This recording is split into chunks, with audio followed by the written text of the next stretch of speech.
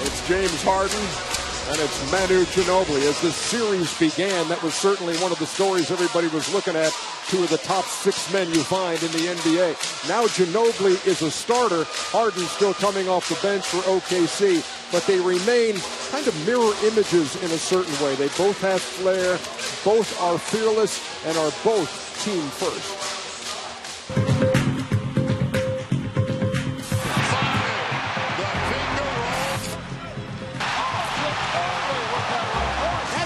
Sixth man. He weaves. Unbelievable. Ginobili on cue. First time I saw saw him play was, you know, in high school. You know, when you know the Spurs were winning, you know, championships, and he was, you know, at his peak and just you know, playing unbelievable.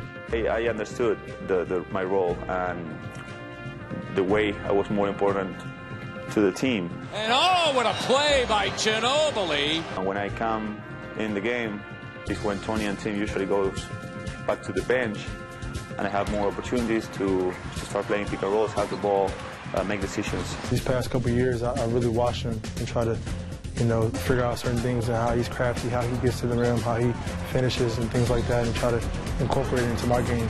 Here's Harden on the drive and score. Here's Harden one on three and score. And I like this emotion off the bench here by Harden. Uh, he's, he's unbelievable. He's a, he's a great player, uh, very young. Of course, I'm in a different uh, part of my career. Uh, I'm playing my last few years, and he's just starting.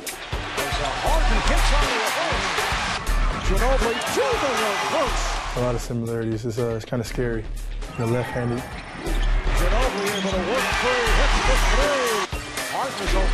The. Yes. crafty, um, kind of you know, the footwork. Ginobili again, splitting through and has the layup. Harden on the drive. My goodness. It counts and the foul.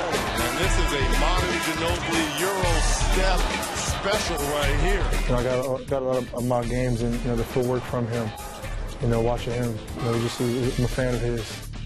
Hey, no easy shots. Contest them, chase them hard, contest every shot, run the lanes. Harden does a, a great job being aggressive and keeping the uh, scoring options for the Thunder really high. Westbrook controls on the pass from Harden.